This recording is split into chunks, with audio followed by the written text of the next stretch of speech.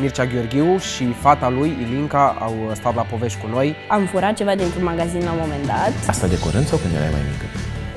Acum o săptămână. Dacă este într-adevăr să-mi doresc ceva și lucrul ăla m-ar face cu adevărat fericit, ar fi următor.